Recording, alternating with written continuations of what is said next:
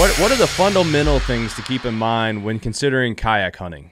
Uh, I actually just recently wrote an article, and I'll read a couple. There's like five things I think on here, and the number one thing is safety above everything else. So the thing that people have to understand is when you're going out on the water in a boat early in the morning into places where if you're doing it right, there should not be anybody around. Um, you you have to depend on yourself. Like, there, if you fall in the water, nobody's going to be there to help you it's four o'clock in the morning. Nobody's going to be there. You know, you're out in the middle of nowhere. There's not going to be just a random bass fisherman at four o'clock in the morning that's going to be able to hear you scream. Um, so safety is the biggest thing, and uh, there's a couple ways that you can, you know, maintain that safety. And number one is I keep a life jacket on board. I always have. Um, but every single time I go out, I'm like, man, what if this is the time that I just like hit a rock or, or you know, a gust of wind like surprises me or or whatever, you know, and I and I go overboard. And I just can't I don't like that idea, especially when you when you think about hunting boots. If you're wearing rubber boots, heavy clothes, like if you fall in the water and that stuff gets water in yeah. it, you're you're done for. Yeah. And so um, one of the greatest things that I've seen is the uh, um, Onyx uh, PFDs, basically the the um, CO2 activated ones where you you know when it hits the water or whatever it inflates. Mm-hmm. It doesn't it doesn't um, require a whole lot of bulk on you. So um, that's been the biggest thing for me is when I'm going in, you know, a big heavy life jacket is almost more unsafe than not yeah. wearing one. You know, because right. you you have to have be able to move. And um, anyway, so that's number one thing. Um, number two thing is to always, you know, be able to have, always have somebody that knows where you're going, right? Um, technology is huge right now. Um, you can pretty much do anything. You can share your location with your wife, with your friends, with your parents, some family member, somebody to know, like, hey, if if I don't text you at this time, then that means that something's something's wrong, or I've shot a deer or something like that, you know, I mean, but always have that person that you're communicating with. My wife has my location and my dad has my location. That's really great advice just in general. That's not just kayak, you know, uh, hunting. Any, anytime you're on public land and somebody might not know the spot you're going to, it's great advice. Yeah, so that's that's the number one thing is safety. You always want to think about safety, um, especially when you talk about getting on the water in the cold weather. Um, number two is have a success plan. Um, and I have three bullet points right here. So if you are using a um, a heavy duty kayak, you know, it may just be as easy to just throw a deer on top of the kayak and go. Um, but most people are not. Most people are using the cheap Walmart Sun Dolphin kayaks or something like that, and that's great. Like whatever it takes to get you out there, um, but have a success plan. If you were to kill a deer, what are you going to do next? You know, so there's three different ways you can do it. You can pack it out um, just quarter it up right there in the field, um, put it in in uh, game bags, and put it in in your boat somewhere. I mean that significantly decreases yeah. the uh, the weight of the animal. Um, the number two thing is you could tow a raft. So um, I actually had this idea before any of the ideas that I ever had was like, okay, if I'm successful, how am I going to get this deer out? At the time, I didn't know if my kayak would actually do it with the kayak that I had. And so I was like, well, I could just take an inflatable raft and put it in the hole somewhere, um, pack it away with a pump or something like that. And if I kill something, just inflate it up and throw it in the raft and tow it behind. So that's the number two option. Um, always, always a good, you know, that would work. I promised you it would mm-hmm. work.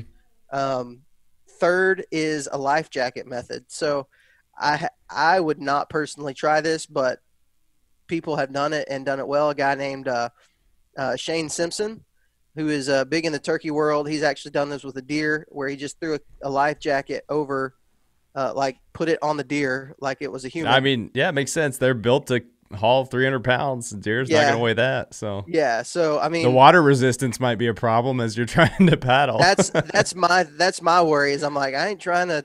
I ain't trying to drag a deer through water. Yeah, that would yeah. Be, even though it's floating, that's dead weight, man. Yeah. So, um, important thing with that is um, not to gut the deer. Don't gut the deer before you do that, mm. um, because if you do, that cavity will fill up with water and it's just going to make it even heavier. So um, yeah, and also it'll it'll get there get inside the meat and all yeah. that stuff. Yeah, from the meat that. perspective, I definitely wouldn't do that. Yep. And so the the last thing is just throw it on top of the boat and go, which is what I've done every time. Um, super easy if you have a kayak that has a weight capacity and also has enough space um, to put an animal.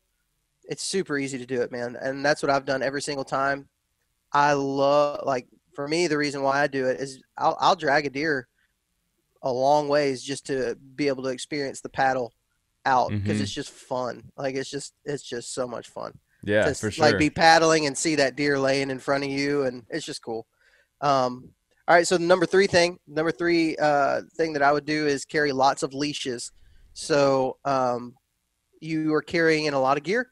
You've got a backpack, you've got a, a stand if you're using a stand, or um, you know, I I don't do that anymore. So I use the saddle. Um, and so I'm wearing that, so I don't have to have a leash for that. But you've got a, a, gun or a bow.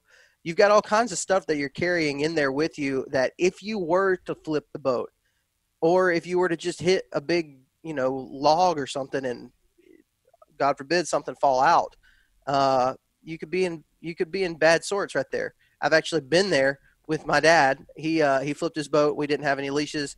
He lost his gun into the bottom of the lake. Um, his bag fell in his he was using a climber at that time. Uh, his climber fell in. Luckily, we were able to retrieve everything except for the gun, um, but we eventually got that um, with an anchor. It was pretty cool. We fished it out of the bottom of the lake. That was pretty sweet. Um, I've been but, there too. My first time, I used to kayak and canoe a ton, and my first time out on the boat, my wife and I uh, hit in a, in a bend of a stream, hit a log that was submerged. And as soon as you get sideways on a stream, you're screwed. And so the kayak took on water, and I watched all my stuff go downstream. And we spent the next 45 minutes, well, after I got the boat uh, out of the four foot deep uh, turn that we were in, you know, once I got it on the bank and, and emptied out the water, I had to fish out everything out of the stream that I could find. My wife, I also learned, uh, we, we, were very new to this at the time. Uh, we also learned the hard way that you don't kayak in flip flops because we never saw her shoes again. nope. I mean, there's a lot of things that can go wrong. There's yeah. a lot of variables that can go wrong in this. Um, so it's just best to be prepared for the worst. You know, uh, and I'll throw in people get overconfident thinking that they're good swimmers, but here's the thing: if you flip, you don't know what your head's going to hit, and you're not wearing a helmet when you're kayaking, oh, um, especially in the hunting scenario. And you know, if your head hits a, a, log or something, you get knocked out. You're done. That's it. So you know, super important to even if you don't you know, even if you feel really comfortable because nobody's out or the water's, you know, glass, um, if, if you were to hit something or, I mean, you never know, dude, freak accident, something could come out of the water and scare you and you flip the boat yourself, you know? And if, if you hit a rock or a log and you're, you hit your head, you're done. That's it. Dude, in Kentucky, uh, where I hunt in Kentucky, there's a bunch of Asian carp on this river. Yeah. And, and those things, dude, they make me so nervous at early in the morning. I will not go like all out, you know, because yeah, because waiting filling, on one of those Asian carp to come and slap me in the face. Filling you know? a boat with a protein you didn't anticipate. Exactly. um, so, in terms of leashes, you can buy like Yak Gear or whatever um, brand of leashes, or you could just buy a bunch of paracord and cheap carabiners and yeah, keep all that stuff. Keep it in your boat. That way, if you are to ever flip over, everything will be still attached to the boat. Um, number four thing is walk before you paddle. So um, I try to walk every area that I'm going to hunt. I try to go and walk it before I hunt it and or before I paddle to it. That doesn't mean if I'm doing it right, I'm going to be in areas where you cannot walk to. But I want to go to the closest possible access point of this particular parcel of, of public land and make sure that you cannot walk to it. Because if you can, I've been in a lot of situations where I've wasted a lot of time and come to find out I was 50 yards away from a parking area um, because I didn't go and check it out. There's some, if you're using onX or whatever, there's sometimes there's a, a gravel road or a trail that you can't see that doesn't yeah. show up and it leads right to the piece of property that you're planning on hunting. Um, and that's just it's just part of it. So I'm going to go and I'm going to basically drive the perimeter of that whole chunk and make sure there's no access. Most of the time, if it doesn't show up on onX, then then I am right. But there are times where it has been. There was a time last year where I dude, I, I went like four miles down the river, and I was like, I get up there and I walk up to a spot, and there's tire tracks and parking area, and I was like, "What the heck, man?" Yeah, you spent all this effort to get to something somebody can walk to. Yeah, yeah. Not, I I could have got there in two minutes. Yeah. you know. And hey, it was um, fun. yeah, yeah, I learned a lot. So so that's um that's kind of the four basic things um that I would say. I think that's it. Was there one more? Oh yeah, there's one more, and that's uh, being aggressive. Um, when you're hunting with a kayak, you have to understand that most people are not coming at deer from the water. Deer need water to survive. They use water for an advantage for a lot of different reasons, um, bedding being one of those. They'll bed close to water because they know that danger doesn't come from that from that direction normally. So you have the ability to be aggressive when you're coming at it from a boat or kayak or whatever. If you're coming from water access, you have the ability to be a little bit more aggressive than somebody walking in. So don't be afraid to go into an area that might be really, really close on top of a bedding area or a feeding area because most of the time the deer in my experience i've been doing this for several several years now and in my even now in my experience when i see it when i pull up you know in the morning and my headlight my headlamp hits a deer's eyes right on the bank they're not scared mm-hmm. like they'll just kind of walk off and be like yeah whatever they're used to seeing fishermen out there, man. Yeah, like, right.